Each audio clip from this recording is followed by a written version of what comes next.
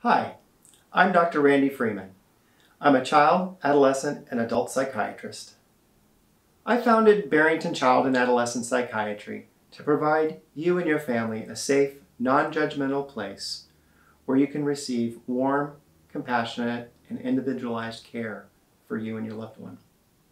The model for the care that I provide is not only from a personal experience of a father seeking care for his son with Asperger's, but also from the many families that I've had the privilege of caring for.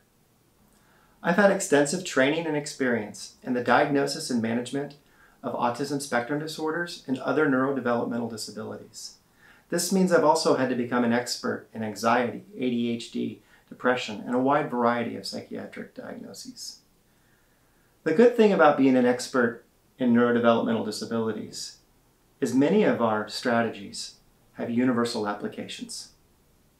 At Barrington Child and Adolescent Psychiatry, we offer a wide range of services from the individual assessment, individual therapy, family therapy, and medication management. I believe there's a delicate balance between knowing when not to prescribe and when to advocate for aggressive treatment. Either way, we're going to make this decision together. Lastly, my model of care was greatly influenced by my training and experience in family therapy. I truly believe that we can't understand an individual without understanding the family system in which they live.